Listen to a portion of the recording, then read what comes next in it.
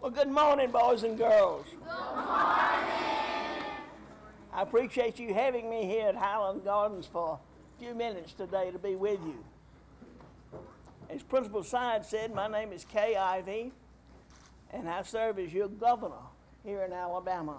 My office is in the Capitol building on Dexter Avenue here in Montgomery, and I know you fourth graders are probably learning about that uh, in your Alabama history class as governor, I have a lot of responsibilities, but the one, the one thing I am most focused on is making sure each of you have the best education possible. Like you, I, I was once a student in public schools, and there were days when you might rather be playing outside rather than being inside listening to your teachers. But y'all, have you ever thought about what kind of job you want when you get out of school? Trust me when I say it takes working hard in school today so you can be ready to go where you want to go and be what you want to be. Maybe you want to help sick people get better. One day you could be a nurse working in a hospital in Birmingham or even here in Montgomery.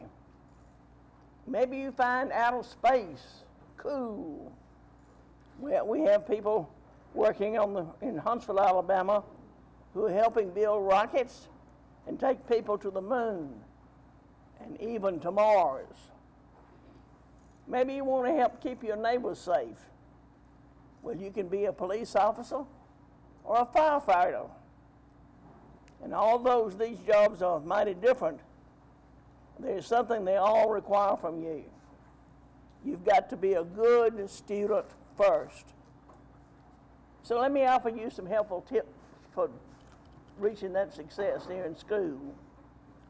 Work hard in your classes. Find a book you like and read it. Listen to your teachers. Practice your math problems. Be kind to your classmates and dream big. And I'm proud to work for each of you as your governor, and I believe you can do anything if you just put your minds to it. So don't let anybody ever tell you anything different. So as you move on to middle school and high school and maybe even college if you choose, stay focused on your schoolwork. Make good choices and keep working toward your dreams, no matter what they may be. Thank you again for having me here at Highland Gardens. And uh, I wish you well, and I encourage you to be good students so you can become what you want to be and become. May God continue to bless each of you and the great state of Alabama.